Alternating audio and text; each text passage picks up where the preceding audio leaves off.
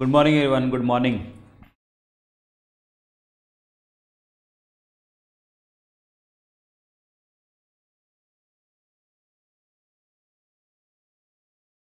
good morning everyone good morning जल्दी से जल्दी बताइए, आपको आवाज़ आ रही है?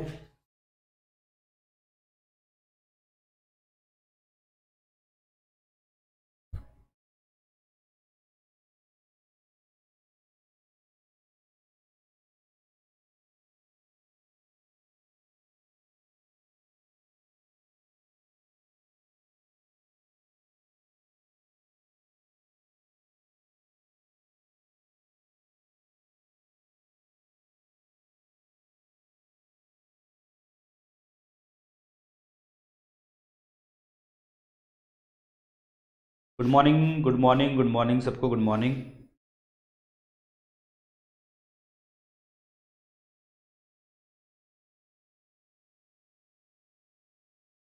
सो आवाज़ क्लियर है सबको?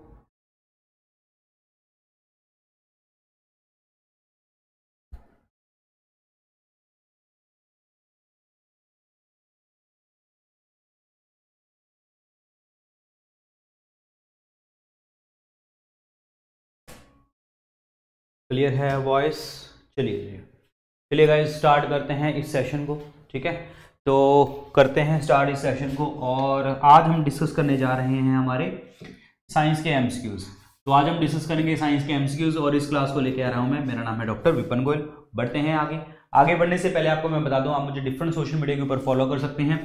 जितनी भी क्लासेस होती हैं, वो टेलीग्राम चैनल के ऊपर आपको यहाँ पे मैं शेयर कर देता हूँ। मेरे साथ यहाँ पे one lakh forty five thousand plus बच्चे जुड़े हुए हैं तो आप भी आके जुड़ सकते हैं। आप मुझे इंस्टाग्राम के ऊपर भी फॉलो कर सकते हैं, आप मेरे से पर्सनली कनेक्ट कर सकते हैं यहाँ पे। अगर आपका कोई एग्ज़ाम हो पेपर हो तो आप मुझे यहाँ पे ईमेल कर सकते हैं। इस ईमेल आईडी के ऊपर अपना पेपर वगैरह सेंड कर सकते हैं आप यहाँ पे। क्लियर जिस तरीके से आज हम साइंस के क्वेश्चन पढ़ेंगे, अगर आप ऐसे ही साइंस के क्वेश्चन पढ़ना चाहते हैं polity history geography environment ecology जितने भी हमारे टॉपिक्स आते हैं जनरल स्टडीज़ के अंतर्गत तो अगर आप ऐसे पढ़ना चाहते हैं chapter wise topic wise MCQ करना चाहते हैं तो आप मेरा पेड कोर्स ले सकते हैं टेन थाउज़ेंड एमसीक्यू कोर्स इसमें chapter wise topic wise question है डिफरेंट डिफरेंट एग्ज़ाम को फोकस करके मैंने यहाँ पे अलग अलग फोल्डर भी बनाए हैं बहुत सारी चीज़ें इसमें जो है आपके मॉक टेस्ट एनसीईआरटी बेस्ड चीज़ें, और बहुत सारी चीज़ें इसमें इंक्लूडेड हैं। मतलब टाइम टू टाइम मैं इसमें अपडेट करता ही रहता हूँ। क्लियर कल भी मैंने एसएससी एग्ज़ाम के लिए एक वीडियो डाली थी, जो आपके 2021-22 में जो क्वेश्चन पूछे जा रहे हैं,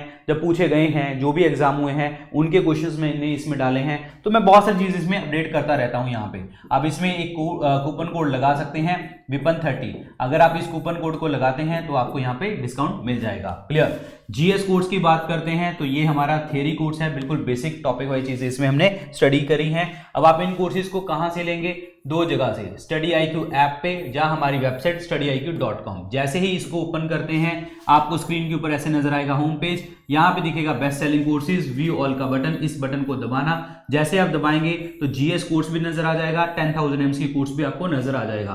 अगर आप बिल्कुल बेसिक से पढ़ना चाहते हैं, बिल्कुल स्टार्ट कर रहे हैं तो आपको पहले ये कोर्स परचेज करना है। अगर आपको थोड़ी बहुत भी नॉलेज है तो आपको सीधा टेन थाउज़ेंड एम्स की कोर्स परचेज करना है, ये याद रखना। और आप में से बहुत सारे स्टूडेंट जो हैं स्टेट स्टेट पीसीएस के लिए भी तैयारी कर रहे होंगे, जो मेरे से पढ़ रहे हैं। अभी मैंने कुछ कोर्सेज लॉन्च किए हैं स्टेट पीसीएस के लिए। वो आपको दिखेंगे। यहाँ पे जस्ट लॉन्च के बटन में इसको व्यू ऑल करना तो आपको यहाँ पे नज़र आ जाएँगे। वो कौन कौन से कोर्सेज हैं? जैसे कि एमपीपीसीएस के लिए मैंने कोर्स लॉन्च किया है हमारा। थाउज़ेंड एम्स की कोर्स ऐसे ही हमने यूपीपीसीएस के लिए कोर्स लॉन्च किया है और बीपीएससी के लिए भी लॉन्च किया है उड़ीसा पब्लिक सर्विस कमीशन के लिए भी हमने ये जो कोर्सेज हैं लॉन्च किए हैं। और इसमें आप अगेन सभी कोर्सेज के अंदर विपन थर्टी कूपन कोड लगा के अपना डिस्काउंट आप ले सकते हैं। विपन थर्टी कूपन कोड लगा के। क्लियर इसके अलावा स्टडी आईक्यू ऐप के ऊपर आप कोई भी कोर्स परचेज कर सकते हैं। मतलब इनके अलावा भी अगर आप वो कोर्स परचेज करते हैं चाहे उसके ऊपर ज़ीरो परसेंट हो पाँच परसेंट हो दस परसेंट डिस्काउंट हो अगर आप मेरा कूपन कोड यूज़ करते हैं Vipan thirty three. Vipan thirty three coupon code use करते हैं तो आपको मैक्सिमम डिस्काउंट मिलेगा आ, अगर आप इस कूपन कोड को यूज़ करेंगे। Vipan thirty three coupon code को यूज़ करेंगे तो मैक्सिमम डिस्काउंट आपको मिलेगा। ठीक है? कोई भी कोर्स के ऊपर, ध्यान रखना स्टडी आई के किसी भी कोर्स के ऊपर। चलिए जी स्टार्ट करते हैं पहले क्वेश्चन से।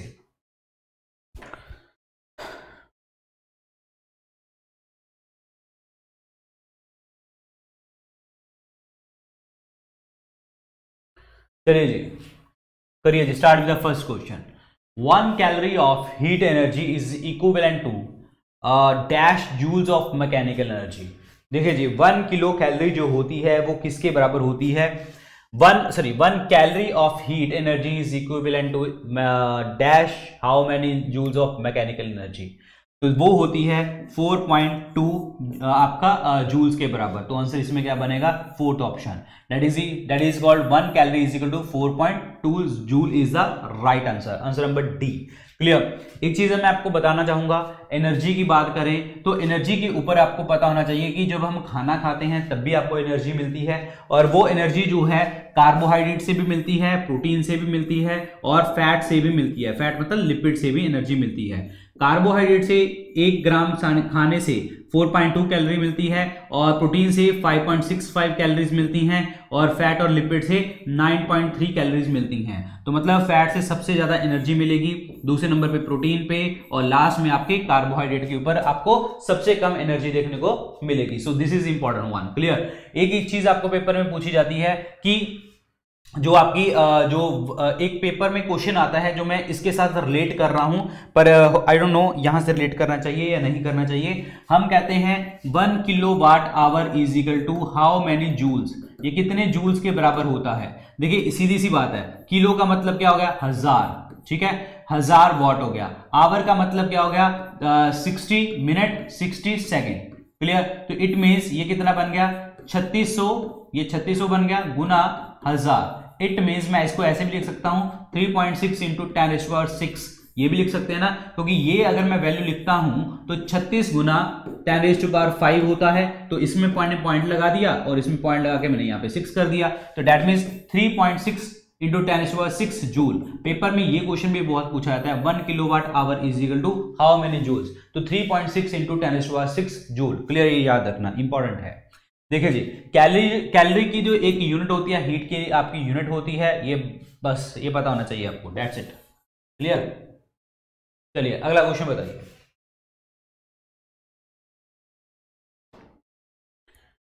चलिए, बहुत बढ़िया।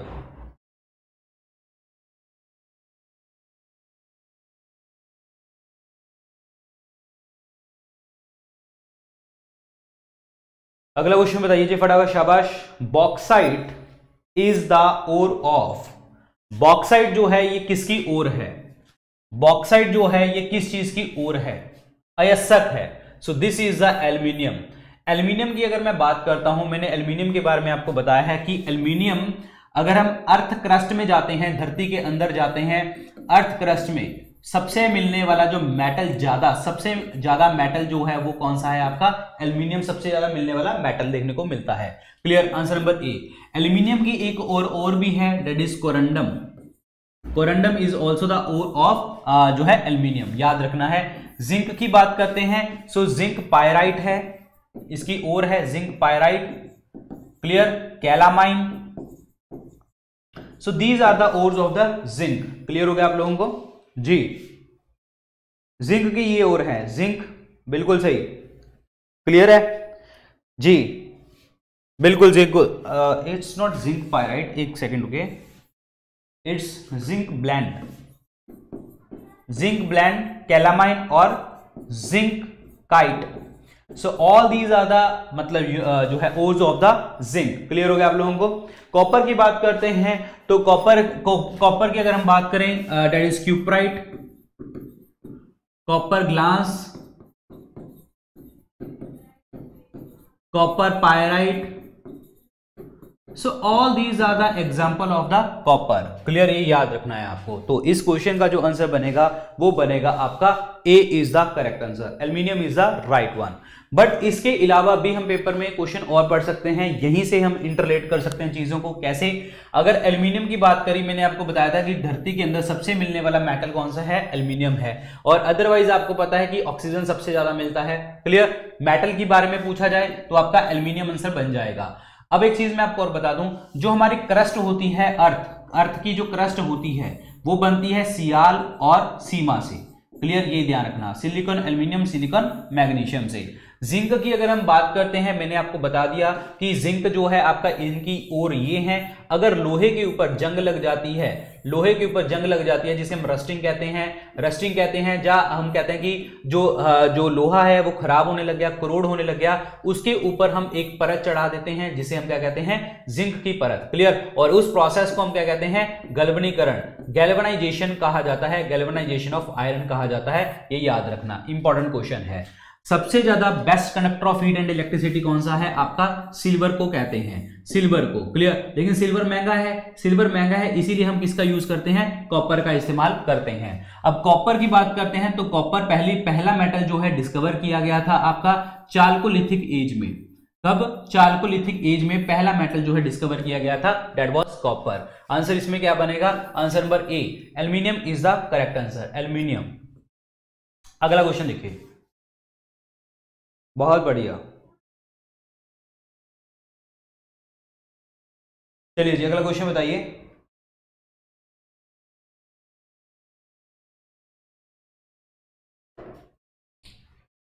When a body falls freely towards the earth जब कोई भी बॉडी ऐसी आती है जो अर्थ की तरफ़ फ्रीली फॉल होती है, उसकी एनर्जी क्या होगी? जब भी कोई एनर्जी जो है मतलब किसी बॉडी को फ्रीली फॉल ऐसे हम छोड़ देंगे तो हमेशा उसकी एनर्जी जो होती है, वो कांस्टेंट रहती है, हमेशा उसकी एनर्जी जो है सेम रहती है। एनर्जी सेम होने का मतलब टोटल एनर्जी का सेम होने का मतलब क्या हो गया? कि kinetic energy plus potential energy जो होगी, वो सभी जगह के ऊपर बराबर होगी। काइनेटिक एनर्जी जो होती है, हमेशा किसी भी चीज़ के मोशन के कारण देखने को मिलती है, और पोटेंशियल एनर्जी किसी भी चीज़ के की शेप साइज़ पोजीशन ओरिएंटेशन के कारण देखने को मिलती है। काइनेटिक एनर्जी जो होती है हाफ़ एम वी स्केयर इसका फॉर्मूला होता है और पोटेंशियल एनर्जी का फॉर्मूला होता है एम जी एच क्लियर ये आपको याद रखना है। So this is these are the formula तो आंसर इसमें क्या बनेगा? B is the correct answer B option clear constant रहती है इसकी एनर्जी चलिए अगला क्वेश्चन बताइए, क्या बनेगा? जी। Sharpness of a television image is termed as it's जो हम कहते हैं कि जैसे अभी मैं बात करूँ, ये एक तरह का टेलीविज़न आपकी तरफ़ दिख रहा है, ठीक है? आप लैपटॉप देख रहे हैं जब आप अपना फ़ोन देख रहे होंगे तो उसकी शार्पनेस जो आ रही है, वो किससे पता लगता है? हम कहते हैं कि हमें क्वालिटी जो है नज़र अच्छी से आ रही है। आप मोबाइल में देख रहे होंगे लैपटॉप में देख रहे होंगे, आपको लगेगा कि बहुत अच्छी से आ रही है। और हो सकता है कि मैं दस लाइटें और लगा दूँ तो और हो जाएगा।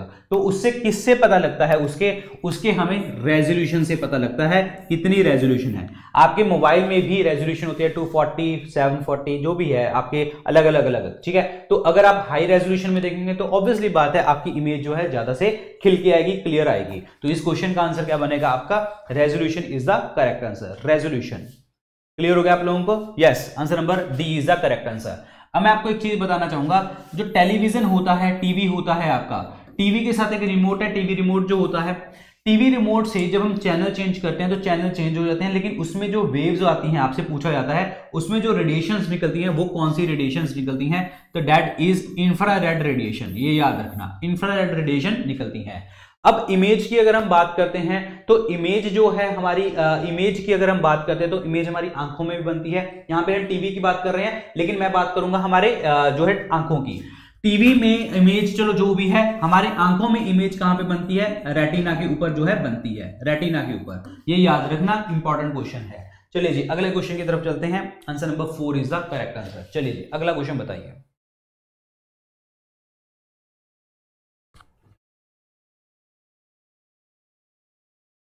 अगला क्वेश्चन बताइए, शाबाश।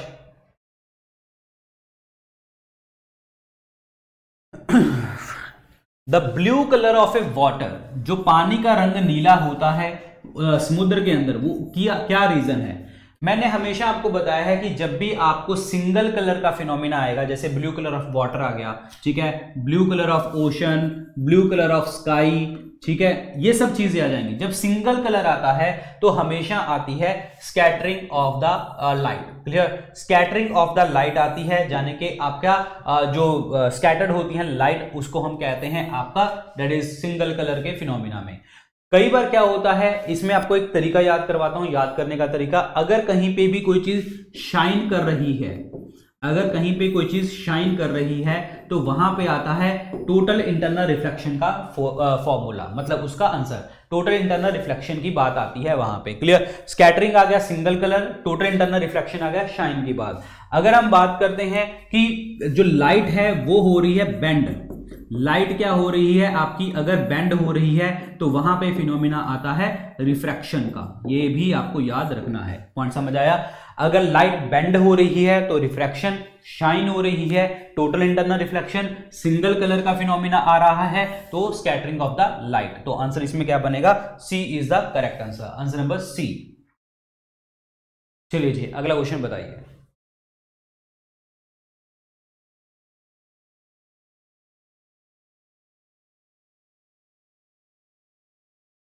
The audible range for adult human being is जो हमारी फ्रिक्वेंसी है सुनने की वो इनमें से कौन सी है? ऑडिबल रेंज कितनी है हमारी एडल्ट ह्यूमन बींग की? कितनी है? सो so, वो है आपकी 20 से 20,000 हर्ट्ज इस क्वेश्चन का आंसर क्या बनेगा? बी ऑप्शन 20 से 20,000 hertz is the correct answer answer number B is the right one clear so hertz जो है आपकी फ्रीक्वेंसी की यूनिट होती है आवर्ती की यूनिट देखने को मिलती है। So this is important one clear अगर आपसे पूछा कि लाउडनेस के यूनिट कितने क्या होते हैं? लाउडनेस के यूनिट होते हैं बेल क्लियर लेकिन प्रैक्टिकल यूनिट कौन से होते हैं आपके? डेसिबल ये भी आपको याद रखना है। डेसिबल आंसर इसमें क्या बनेगा जी? B is the correct answer answer number B अब देखिए जी, जब हम सुनते हैं साउंड आती है तो साउंड की बात अगर आपसे पेपर में पूछा जाए, कि साउंड है क्या चीज़? साउंड जो है, एक क्या है? मैकेनिकल एनर्जी है मतलब क्या है? जो आपकी एक तो लंबी है क्लियर मतलब इसको इसको ट्रैवल करने के लिए एक मीडियम की ज़रूरत होती है। मतलब ऐसा नहीं है कि कुछ भी हम, कहीं पे भी आवाज़ आ जाएगी, ऐसा नहीं है। इसको ट्रैवल करने के लिए आपको जो है, एक मीडियम की ज़रूरत होती है। तो डेट मीन्स यहाँ पे क्या है, ये एक मैकेनिकल वेव होती है। लेकिन मैकेनिकल वेव का मतलब कोई मीडियम चाहिए। प्लस ये एक लॉन्गिट्यूडनल वेव होती है। लॉन्गिट्यूडनल मैकेनिकल वेव होती है। कौन? साउंड तो दिस इज़ इंपॉर्टेंट वन तो इस क्वेश्चन का आंसर क्या बनेगा? B option that is twenty से ट्वेंटी थाउज़ेंड क्लियर हो गया आप लोगों को? जी। ये आपकी ऑडिबल आती है। अगर 20 हर्ट से नीचे चले जाएँगे तो आपकी इंफ्रासोनिक हो जाएगी। जो हम नहीं सुन सकते। अगर 20,000 हर्ट से ऊपर चले जाएँगे तो आपकी अल्ट्रासोनिक हो जाएगी। जैसे अल्ट्रासाउंड वगैरह में अल्ट्रासाउंड वगैरह में अल्ट्रासोनिक वेव यूज़ होती है। सोनार मेथड में साउंड नेविगेशन एंड रेंज में आपकी अल्ट्रासोनिक वेव यूज़ होती है। ये पता होना चाहिए। देखिए जी बिलो 20 हर्ट्स जो साउंड है वो आपका एलिफेंट सुन सकता है। This is infrasound infrasonic sound clear हो गया? और इसमें 20 से 20,000 हर्ट्स की अगर हम बात करते हैं तो हम लोग आते हैं इसमें। तो ये हम सुन सकते हैं। ओवर 20,000 हर्ट्स की बात करें बैट हो गया। क्लियर चमगादड़। चमगादड़ एक ऐसी स्पीशीज है जो अल्ट्रासाउंड सोनिक वेव जो छोड़ता भी है और रिसीव भी करता है। और इसकी रेंज कितनी होती है? 20,000 हर्ट से ऊपर या 20 किलो हर्ट से ऊपर देखने को मिलती है। So this is important one चलिए अगला क्वेश्चन बताइए। Human blood human blood is red in color because of the presence of. जो ह्यूमन ब्लड है, उसका कलर रेड हो जाता है किसकी प्रेजेंस के कारण? ह्यूमन ब्लड का जो कलर है, वो क्यों होता है रेड देखिए जी ब्लड की अगर हम बात करते हैं तो ब्लड के दो कंपोनेंट देखने को मिलते हैं। एक होता है हीम एक होता है आपका ग्लोबिन पार्ट दो चीज़ों से बनके मिलते, मिलके बनता है। हीम जो है आपका कंपोनेंट है, जो है आयरन का कंपोनेंट आयरन के ऊपर जंग लगती है तो कलर रेड हो जाता है दैट्स वाई हीम के कारण कलर रेड हो गया। आपका ब्लड का कलर रेड हो जाता है, ठीक है? हीम के कारण, आयरन के कारण this is important one clear globin की अगर हम बात करते हैं तो ये आपका प्रोटीन होता है, जिसमें ऑक्सीजन और कार्बन डाइऑक्साइड जो है आपकी बाइंड करती हैं। सो so ये पता होना चाहिए this is why this is red in colour अब बात यहाँ पे ये करते हैं कि ह्यूमन ब्लड जो है रेड है कलर में क्यों है? क्योंकि उसके आरबीसीज के अंदर क्या होता है? हीमोग्लोबिन देखने को मिलता है। Answer number one is the correct answer अब जो रेड ब्लड सेल्स होते हैं, जो आपके आरबीसीज होते हैं आरबीसीज क्या करते हैं? आपकी ऑक्सीजन कार्बन डाइऑक्साइड की ट्रांसपोर्टेशन में आपको हेल्प करते हैं। दूसरी बात अगर हम बात करें ब्लड के बारे में सो ब्लड की पीएच वैल्यू कितनी होती है? 7.4 होती है। और प्लस ये आपका फ्लूड कनेक्टिव टिश्यू होता है, तरल संयोजी उत्तक उसको हम कहते हैं। तो इस क्वेश्चन का आंसर क्या बनेगा? A option is the correct answer A option yes समझ आया आप लोगों को? Answer number one is the correct answer answer number one haemoglobin in red blood cells answer number A is the correct answer answer number A चलिए जी, अगला question बताइए।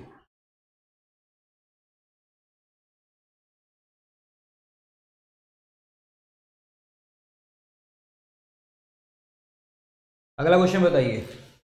Which of the following species on the earth is living fossil surviving for more than 150 billion year इनमें से कौन सी प्रजाति है जो 150 सालों तक सॉरी 150 बिलियन सालों तक जो है आपकी जीवित रहती है? तो ये कौन सा पार्ट आएगा, ठीक है?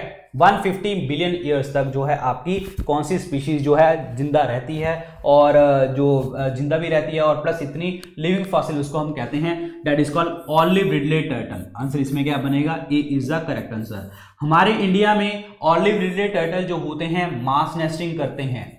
मास नेस्टिंग करते हैं। ये कहाँ पे करते हैं mass nesting that is the Gahirmatha beach के ऊपर। गाहिर माथा बीच के ऊपर। गाहिर माथा बीच है कहाँ पे? That is in the Orissa वहाँ पे आके मास नेस्टिंग करते हैं। और इस मास नेस्टिंग के प्रोसेस को हम क्या कहते हैं? अरिबदा कहा जाता है। अरिबदा। तो this is important one answer number A is the correct answer so this is this process is called arribada. ये अपने अंडे वगैरह यहाँ पे देते हैं। मास नेस्टिंग यहाँ पे करते हैं। So this process is called mass nesting और ये क्या है? गाहिर माथा बीच है उड़ीसा की, जहाँ पे ऑलिव लिडेड टर्टल आके मास नेस्टिंग करते हैं। चलिए जी, अगला क्वेश्चन बताइए, क्या बनेगा?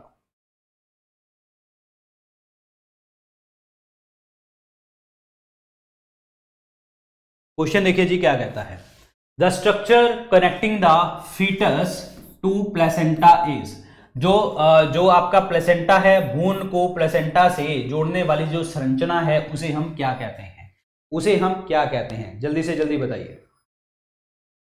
जी देखिए जी, क्या होता है? बच्चे को मदर से या फिर बच्चे को प्रेसेंटा से जोड़ने वाली जो आपकी स्ट्रक्चर होती है, उसे हम क्या कहते हैं? दैट इज़ अम्बलाइकल कॉर्ड उसको कहा कह दिया जाता है। आंसर इसमें क्या बनेगा? वन ऑप्शन बनेगा correct answer one option clear हो गया आप लोगों को? जी क्लियर हो गया। और एक होती है एमनियन लेयर बच्चे को, बच्चे के बाहर एक लेयर होती है जो उसको प्रोटेक्ट करके रखती है। That is called amnion layer bulbourethral gland इसे हम और क्या कहते हैं? दैट इज़ कॉपर्स ग्लैंड कहा जाता है। कॉपर्स ग्लैंड क्लियर यहाँ पे क्या होता है आपका? यहाँ पे कॉपर्स ग्लैंड के ऊपर जो है, जितना भी सीमेन होता है, वो लार्ज अमाउंट में यहाँ पे क्या होता है आपका? स्टोर किया जाता है बल्बो यूथ्रल ग्लैंड में। Clear this is very very important clear यहाँ पे फाइनल वॉल्यूम जो सीमन का होता है, यहाँ पे स्टोर होता है प्लस म्यूकस सिक्रीशन के लिए यहाँ पे सारी चीज़ें देखने को आगे मिलती हैं। यस लुब्रिकेशन का काम करता है यहाँ पे। यस बिल्कुल सही। जी जी जी जी। क्लियर हो गया आप लोगों को?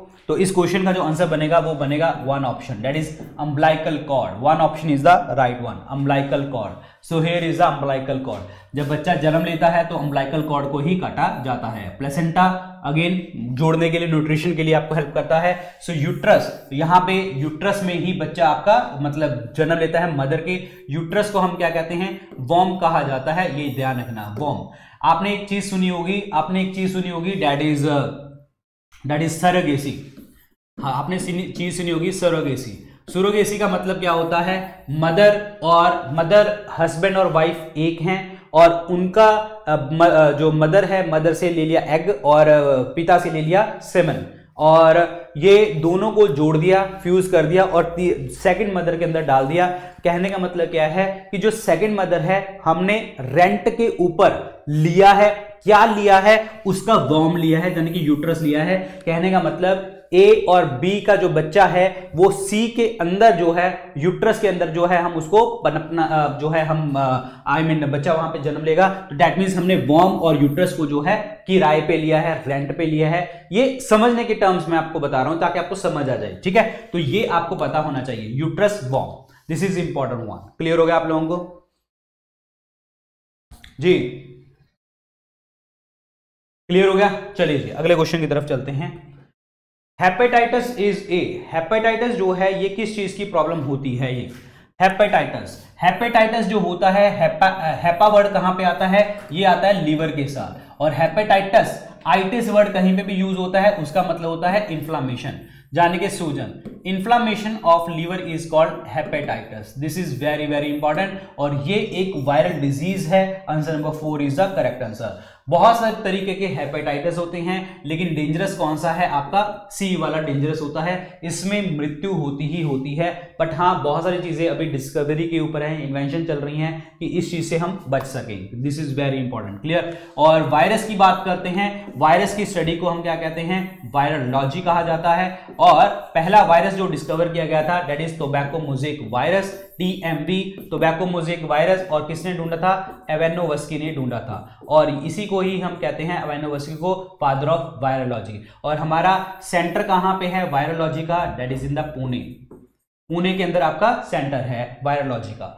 अब बात करते हैं लीवर के ऊपर। लीवर की स्टडी को हम क्या कहते हैं? हेपेटोलॉजी कहा जाता है। और लीवर जो है, आपकी सबसे बड़ी ग्लैंड है। यूरिया यहाँ पे बनता है। ग्लाइकोजन यहाँ पे स्टोर होता है। हमारा ब्लड क्लोटिंग के लिए जो कंपल्सरी प्रोटीन होता है, वो भी लीवर बनाता है। That is fibrinogen the compulsory protein for blood clotting रक्त का थक्का जमाने के लिए। This is important one fungus की स्टडी को हम क्या कहते हैं? माइकोलॉजी फंगस की स्टडी को माइकोलॉजी कहा जाता है। Clear so all these are the जो है आपके हेपेटाइटिस चलिए अगला आंसर बताइए।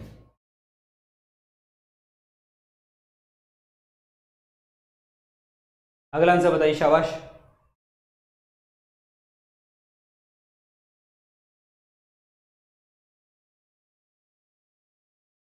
Which is the richest source of the vitamin C vitamin C का जो रिचेस्ट सोर्स है, वो क्या है? विटामिन सी की अगर हम बात करते हैं विटामिन सी को हम और क्या कहते हैं? एस्कॉर्बिक एसिड के नाम से जाना जाता है। एस्कॉर्बिक एसिड के नाम से जाना जाता है विटामिन सी को। और विटामिन सी जो है, सबसे ज़्यादा देखने को मिलता है सिट्रस फ्रूट्स में that is in the orange orange and lemon वगैरह में देखने को आपको मिलता है। Answer number C is the correct answer vitamin C vitamin C is the water soluble vitamin first of all clear water soluble vitamin जो होते हैं, वो दो होते हैं बी और सी जब हम खाना बनाते हैं, सबसे ज़्यादा जो लॉस होता है, वो विटामिन का होता है। विटामिन में किसका?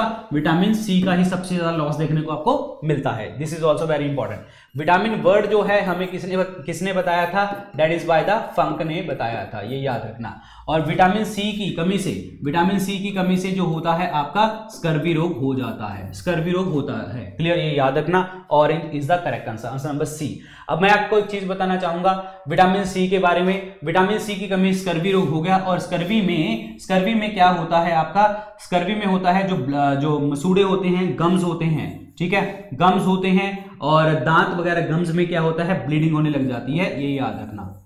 ब्लीडिंग होती है, अगर आप विटामिन सी की आपकी बॉडी में कमी है तो answer number C is the correct answer tomato की अगर मैं बात करता हूँ तो इसमें होता है ऑक्जेलिक एसिड ऑक्जेलिक एसिड और ऑक्जेलिक एसिड आपको किस चीज़ में आपको और मदद करता है? ऑक्जेलिक एसिड आपको रस्ट स्पॉट को खत्म करने में भी मदद करता है। जंग के निशान को खत्म करने में भी आपको मदद करता है। तो आंसर इसमें C is the correct answer orange is the right one orange clear तो ये कुछ फ़ूड फूड्स हैं जहाँ पे आपका बहुत ज़्यादा विटामिन सी का कंटेंट आपको देखने को मिलता है। लेकिन ऑरेंजेस वगैरह में सबसे ज़्यादा कंटेंट देखने को मिलता है। चलिए अगला आंसर बताइए।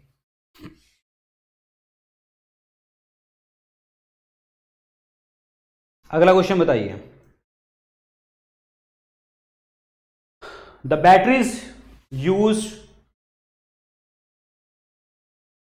the batteries use in the mobile and the smartphone are जो बैटरीज यूज़ की जाती हैं स्मार्टफ़ोन में, जा जा स्मार्टफ़ोन में मोबाइल्स में, वो कौन सी बैटरी इसमें यूज़ करी जाती है? जल्दी से जल्दी बताइए। Yes yes. बिल्कुल सही। इसमें हम यूज़ करते हैं लिथियम आयन बैटरी को हम यूज़ करते हैं। आंसर इसमें क्या बनेगा? C is the correct answer answer number C is the right one answer number C ji lithium ion battery का इस्तेमाल किया जाता है। बिल्कुल सही। लिथियम आयन बैटरी का इस्तेमाल किया जाता है यहाँ पे। क्लियर हो गया आप लोगों को? Answer number C is the correct answer lithium ion battery का यूज़ किया जाता है। वेरी इंपॉर्टेंट क्लियर यहाँ पे जो है स्टेबल इलेक्ट्रोलाइट इलेक्ट्रोलाइट जो होता है, ये चाहिए होता है विद रिक्वायर्ड आयनिक कंडक्टिविटी जिसमें कैथोड और एनोड का काम होता है प्रॉपर तरीके से। आपको वर्किंग की सिचुएशन में नहीं जाना, क्योंकि वर्किंग कभी भी पेपर में नहीं पूछते। जस्ट ऐसा ही सिंपल क्वेश्चन पूछा जाएगा कि स्मार्टफ़ोन और मोबाइल में क्या यूज़ होता है। That's it that is lithium ion battery चलिए जी, अगला क्वेश्चन बताइए, क्या बनेगा? सेफ्रन जो है, ये आपका कहाँ से है? सेफ्रन जो है आपका कहाँ से मिलता है हमें? प्लांट के कौन से हिस्से से मिलता है? सेफरन यानी कि केसर कहाँ से मिलता है? ये मिलता है हमें स्टिग्मा और स्टाइल से। तो आंसर इसमें क्या बनेगा? इट्स नॉट कलंक एंड शैली। ये गलत है। हिंदी में गलत वर्ड लिखा हुआ है। स्टिग्मा एंड स्टाइल आंसर इसमें क्या बनेगा? Fourth is the correct answer saffron की बात करते हैं तो जैसे जम्मू कश्मीर में आपका सबसे ज़्यादा मिलता है इंडिया में तो वहाँ पे इसको जीआई टैग भी देखने को मिलता है। जीआई टैग ये क्या होता है? हाईलैंड्स के ऊपर उगाया जाता है। मतलब जो आपकी ज़मीन जो है, उठी होती है, वहाँ पे हाईलैंड्स के ऊपर उगाया जाता है और जम्मू कश्मीर में उस लैंड को हम क्या बोलते हैं? करेवास बोला जाता है, ये याद रखना। और प्लस वर्ल्ड वाइड की अगर मैं बात करता हूँ तो सेफरन सबसे ज़्यादा प्रोड्यूस कहाँ पे होता है? That is in the Iran Iran में सबसे ज़्यादा प्रोड्यूस होता है आपका डेट इज़ सेफ्रन क्लियर हो गया आप लोगों को? यस. अगर आपको मैं बात करूँ कि सेफ्रन जो saffron bowl of Kashmir saffron bowl of Kashmir हम किसे कहते हैं? मतलब कश्मीर में भी कहाँ पे सबसे ज़्यादा प्रोड्यूस होता है? That is in the Pampore region ये आपसे पेपर में पूछा जा सकता है Pampore region this is called the saffron bowl of Kashmir यहाँ पे कश्मीर में सेफरन यानी कि केसर बहुत ज़्यादा होता है सेफ्रन बाउल ऑफ़ कश्मीर इसको हम कहते हैं। Clear answer number D is the correct answer stigma and style is the right one stigma and style चलिए अगला क्वेश्चन बताइए।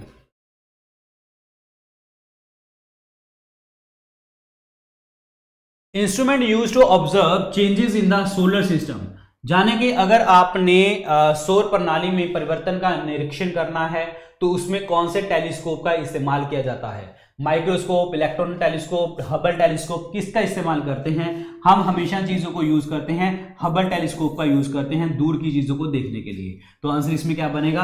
Hubble telescope is the correct answer Hubble telescope very important microscope तो होता है जो बहुत ही सूक्ष्म चीज़ें होती हैं, बहुत छोटी छोटी चीज़ों को देखने के लिए। इलेक्ट्रॉन टेलीस्कोप इलेक्ट्रॉन्स वगैरह की चीज़ों को स्टडी करने के लिए एटॉमिक स्ट्रक्चर्स को डिस्कस करने के लिए वो चीज़ें यूज़ होती हैं। तो इस क्वेश्चन का आंसर क्या बनेगा? That is Hubble telescope clear solar की बात करता हूँ तो सोलर मतलब सन की, अगर मैं बात करूँ sun is the centre of the universe clear तो sun is the centre of the universe sun sun के पास जो एनर्जी आती है, वो सन के पास एनर्जी कहाँ से आती है? बाय द न्यूक्लियर फ्यूजन नाभिकीय संलयन से देखने को आपको मिलती है। नाभिकीय संलयन से न्यूक्लियर फ्यूजन क्लियर क्योंकि सन इज़ ए स्टार और star are made up of hydrogen hydrogen और हाइड्रोजन मिलके क्या बनाते हैं? आपके हीलियम बनाते हैं, ये आपको पता होना चाहिए, ठीक है? और this is also called the nuclear fusion ये याद रखना है आपको। तो आंसर इसमें क्या बनेगा? A is the correct answer that is Hubble telescope is the correct answer Hubble telescope अगला क्वेश्चन बताइए।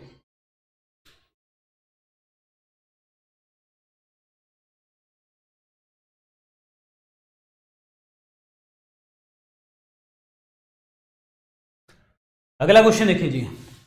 Fuse wire use in electrical instruments are made up of देखिए जो फ्यूज वायर होती है, आपकी वो किस चीज़ के लिए यूज़ की जाती है? पहली बात तो इसका लो मेल्टिंग पॉइंट होता है। गलनांक जो होता है, इसका बहुत कम होता है, ताकि हमें पता लग जाए, अगर ये फ्यूज वायर मतलब जल गई तो ऑब्वियसली बात है, हमें पता लग जाएगा तुरंत कि हाँ करंट बहुत ज़्यादा आ गया। तो इसीलिए फ्यूज वायर जो है यूज़ करी जाती है और ये बनी होती है लेड और टिन की। Answer number C is the correct answer lead और टिन की बनी होती है पीबी और एसएन की बनी होती है। अगर आपसे पूछा कि प्योर फ्यूज प्योर फ्यूज जो है वो किसकी बनी होती है तो आपका आंसर बनेगा टिन प्योर फ्यूज जो है वो टिन का बना होता है, लेकिन फ्यूज वायर की बात करते हैं तो alloy of lead and tin का बना होता है। आंसर इसमें C is the correct answer ये this is called a fuse wire clear ये आपने देखा होगा घरों में this is called fuse wire clear चलिए जी अगर आंसर बताइए। EEG is use to measure the functioning of किस चीज़ के लिए? EEG का मतलब क्या होता है? इलेक्ट्रो इंसेफलोग्राफी इलेक्ट्रो इंसेफलोग्राफी और ग्राम। क्लियर इलेक्ट्रोइंसेफलोग्राम अब इसमें इंसेफ्लो वर्ड का मतलब क्या होता है? ब्रेन ब्रेन के अगर हमने स्ट्रक्चर्स को ढूंढना है, उनके काम को ढूंढना है तो वो है आपका that is EEG this is very important point clear answer number B is the correct answer अगर हम हार्ट की बात करते हैं, उसका फंक्शनिंग के लिए इलेक्ट्रोकार्डियोग्राम देखने को आपको मिलता है यहाँ पे. तो इस क्वेश्चन का आंसर क्या बनेगा? B option is the correct answer जो ब्रेन होता है, ब्रेन ब्रेन जो है आपका प्रोटेक्ट होता है। ये एक इसके अराउंड जो है एक लेयर होती है और एक आगे बॉक्स होता है। अगर मैं ब्रेन की बात करता हूँ, ब्रेन के जो आगे लेयर है, इसको हम क्या कहते हैं? मेनिंजिस कहा जाता है। क्लियर? और आगे जो एक बॉक्स है, आगे वो होता है आपका क्रेनियम। ये दोनों क्या करते हैं? क्रेनियम और मिनिंजिस क्या करते हैं? ये क्या करते हैं? दोनों को प्रोटेक्ट मतलब दोनों क्या करते हैं? ब्रेन को प्रोटेक्ट करके रखते हैं आपकी बॉडी में। सो so, आंसर इसमें क्या बनेगा? B is the correct answer brain is the right one brain very important part चलिए अगला आंसर बताइए। अगला क्वेश्चन देखिए जी क्या कहता है। The number of neutrons in the nucleus of the plutonium nucle uh, uh, plutonium nuclide that is pu uh, pu 242 94 अब बात ये कहता है कि इसमें से नंबर ऑफ़ न्यूट्रॉन्स बताने हैं आपको क्या होंगे कितने होंगे अब यहाँ पे एक चीज़ में बात करता हूँ जो ऊपर वाला होता है वो होता है मास नंबर ठीक है? और नीचे वाला होता है एटॉमिक नंबर क्लियर हो गया? एटॉमिक नंबर होता है द नंबर ऑफ़ प्रोटॉन और electron present in an atom is called atomic number mass number होता है आपका number of proton plus number of neutron अगर हम मिक्स कर दें तो मास नंबर आ जाता है। अगर आपने न्यूट्रॉन को निकालना है तो हमेशा हम mass number minus atomic number कर देते हैं तो नंबर ऑफ़ न्यूट्रॉन्स निकल आते हैं। अब यहाँ पे देखो 242 से 94 निकाल दीजिए। दो बारह से चार गए, आठ आ जाएगा और तीन तेरह से नौ गए मतलब तेईस से नौ गए कितने आ जाएँगे? दैट इज़ कितना आ जाएगा? 148 यस 148 क्लियर हो गया आप लोगों को? तो इस क्वेश्चन का आंसर क्या बनेगा? 148 इज़ द करेक्ट आंसर 148 अब जब भी हम न्यूक्लियर रिएक्शंस करते हैं तो हम मेनली हम यूरेनियम का इस्तेमाल करते हैं। लेकिन यूरेनियम अगर नहीं है तो प्लूटोनियम प्लूटोनियम का भी इस्तेमाल कर लिया जाता है, क्योंकि ये एक आपका रेडियो एक्टिव सब्सटेंस है। क्लियर हो गया आप लोगों को? रेडियो एक्टिव सब्सटेंस वो सब्सटेंस होते हैं जहाँ पे अल्फ़ा बीटा और गामा रेज जो है आपकी निकलती है। एंड में हमेशा आपकी गामा रेज निकलती है और इस प्रोसेस को हम क्या कहते हैं? रेडियो एक्टिविटी कहा जाता है। रेडियो एक्टिविटी इसको हम कहते हैं। क्लियर रेडियो एक्टिविटी जो है किसने किसने बताया था हमें? हेनरी बैकुरल ने बताया था। रेडियो एक्टिविटी के बारे में। हेनरी बैकुरल ने हमें बताया था। तो this is important one answer number B is the correct answer 148 is the correct answer 148 चलिए जी अगला क्वेश्चन बताइए क्या बता बा, क्या बात करता है? देखिए जी अगला क्वेश्चन देखिए। India is working closely with which country to develop a supersonic cruise missile named BrahMos. BrahMos एक क्रूज मिसाइल है इंटरकॉन्टिनेंटल मिसाइल है सुपरसोनिक मिसाइल है। अब बात यह करता है कि कौन सी इंडिया के साथ किस कंट्री ने बनाई थी? एक्चुअली जो ब्रह्मोस है ब्रह्मोस का नाम दो रिवर्स के बना हुआ है। ब्रह that is called Brahm Brahmaputra Brahmaputra clear Brahmaputra river से, और आपका मोस मतलब मोसोकोवा ये दो रिवर से जो है लेके आपका बना हुआ है नाम। ब्रह्मपुत्रा इंडिया की तरफ़ से है और मोसोकोवा जो है आपका रशिया की तरफ़ से देखने को मिलता है। तो आंसर इसमें क्या बनेगा? D is the correct answer रूस is the right one clear हो गया आप लोगों को? जी। क्लियर हो गया आप लोगों को? Answer number D is the correct answer yes बिल्कुल सही। Answer number D is the right answer Russia is the correct one answer number D option clear so guys ये थे हमारे लेक्चर के अंदर क्वेश्चन आई होप आपको lecture अच्छा लगा होगा. लेक्चर अच्छा लगा है तो लाइक और शेयर कर दीजिए. बाकी अपडेट्स आपको टेलीग्राम चैनल के ऊपर आपको मिलेंगे. यहाँ पे डॉक्टर विपन गोयल के नाम से सारे लेक्चर्स पीडीएफ वगैरह मैं यहाँ पे शेयर कर देता हूँ. मेरे साथ यहाँ पे one lakh forty five thousand plus बच्चे जुड़े हुए हैं तो आप भी आके जुड़ सकते हैं. आप मुझे इंस्टाग्राम के ऊपर भी फॉलो कर सकते हो, कोई एग्ज़ाम है पेपर है डाउट्स है अगर आपके पास तो आप मुझे ईमेल कर सकते हैं इस ईमेल आईडी के ऊपर। क्लियर जिस तरीके से आज हमने साइंस के क्वेश्चन पढ़े हैं, अगर आप ऐसे ही साइंस के क्वेश्चन पढ़ना चाहते हैं chapter wise topic wise question पढ़ना चाहते हैं polity, history geography science environment ecology जितने भी टॉपिक्स आते हैं जीएस में तो आप पढ़ना चाहते हैं तो आप मेरा टेन थाउज़ेंड एमसीक्यू कोर्स ले सकते हैं। इसमें चैप्टर वाइज टॉपिक वाइज तो क्वेश्चन है ही है प्लस बहुत सारे प्रीवियस ईयर क्वेश्चन है डिफरेंट डिफरेंट एग्ज़ाम के NC NCERT based mock test वगैरह भी देखने को मिलेंगे आपको यहाँ पे। और जो आपके लास्ट ईयर्स में क्वेश्चन पूछे गए हैं, चाहे कोई भी एग्ज़ाम है, मैंने इसके अंदर डाले हुए हैं क्वेश्चन क्लियर बहुत सारी चीज़ें मैं अपडेट करता रहता हूँ टाइम टू टाइम इसमें अपडेट होते रहते हैं, वो आपको टेलीग्राम चैनल के ऊपर मिलते रहेंगे कि क्या अपडेट होते हैं क्लियर इसमें आपको Vipin thirty thirty coupon code आप लगाएँगे तो आपको यहाँ पे डिस्काउंट मिलेगा। विपन थर्टी कूपन कोड लगा के। क्लियर ये याद रखना। जीएस कोर्स की अगर मैं बात करता हूँ तो ये हमारा पूरा का पूरा थेरी कोर्स है। बिल्कुल बेसिक टॉपिक वाइज चीज़ें इसमें हमने स्टडी करी हैं। अब आप इन कोर्सेज को कहाँ से लेंगे? स्टडी आईक्यू ऐप पे या हमारी वेबसाइट स्टडी आई जैसे ही आप इसको ओपन करेंगे, आपको स्क्रीन के ऊपर नज़र आएगा होम पेज यहाँ पे दिखेगा best selling courses view all का बटन व्यू ऑल के बटन को दबाना GS course by doctor Vipin Goyal नज़र आएगा और ten thousand MC course by Vipin sir नज़र आ जाएगा। तो ये चीज़ें आपको यहाँ पे मिल जाएँगी। अगर आप बिल्कुल ज़ीरो लेवल पे हो, बिल्कुल ज़ीरो लेवल पे मतलब बिल्कुल आप स्टार्टिंग से पढ़ना चाहते हैं तो आपको जीएस कोर्स परचेज कर लेना है। लेकिन थोड़ा बहुत भी अगर आपको आइडिया ना एग्ज़ाम का और चीज़ों का तो आपको टेन थाउज़ेंड एमसी कोर्स ही परचेज करना है। लेकिन आप में से काफ़ी बच्चे ऐसे होंगे जो स्टेट पीसीएस के लिए पढ़ रहे होंगे स्टेट पीसीएस के लिए, ठीक है? तो अगर आप स्टेट पीसीएस के लिए पढ़ रहे हैं तो मैंने कुछ स्टेट पीसीएस के लिए स्पेसिफिक कोर्सेज लॉन्च किए हैं, जो कि आपका यहाँ पे जस्ट लॉन्च के बटन में देखने को मिलेगा। यहाँ पे व्यू ऑल का बटन दबाना, जैसे आप दबाएँगे तो आपको एमपीपीसीएस के लिए कोर्स नज़र आएगा 5000 एमसीक्यू कोर्स क्लियर ऐसे ही हमारा यूपीपीसीएस के लिए 5000 प्लस एमसीक्यू कोर्स नज़र आएगा। ऐसे ही आपको बिहार पब्लिक सर्विस कमीशन के लिए और उड़ीसा पब्लिक सर्विस कमीशन के लिए भी आपको ये आपको कोर्सेज नज़र आ जाएँगे। इन कोर्सेज के अंदर भी आपको Vipin thirty coupon code use करना है तो आपको यहाँ पे डिस्काउंट मिल जाएगा। जो भी कोर्स आप परचेज करेंगे, इनमें से। क्लियर अगर आप स्टडी आईक्यू ऐप से कोई और परचेज करते हैं, इन कोर्सेज के अलावा कोई और कोर्स परचेज करते हैं, चाहे SSC railway defence state exam state PCS UPSC, judiciary, कोई भी कोर्स परचेज कर सकते हैं। अगर उसमें कोई भी डिस्काउंट ना हो, चाहे थोड़ा बहुत हो, अगर आप मेरा कूपन कोड यूज़ करते हैं विपन 33 तो आपको एक्स्ट्रा जो है 33 परसेंट डिस्काउंट मिलेगा, बम्पर डिस्काउंट मिलेगा, ठीक है? सो गाइस दैट्स इट ये है हमारे लेक्चर के अंदर क्वेश्चन बाकी जो भी चीज़ें होंगी, वो आपको पता लगती चली जाएँगी. So good luck guys take care bye and जय हिंद